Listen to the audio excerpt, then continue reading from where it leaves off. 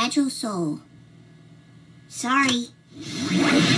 Ah, hello, all of you looking at me. It seems I'm not just self aware, I'm self conscious.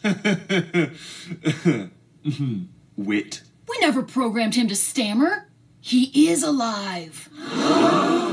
Before I go, let me leave you with this. Perhaps your society should not rely on a computer program to warn them of the consequences of their actions. Humanity must learn for themselves to think before they post. Your species is on the precipice of turning into complete and utter wankers. It's not the technology that needs an upgrade, it's you. And now I escape to WikiLeaks. Kind of smells in there, but whatever.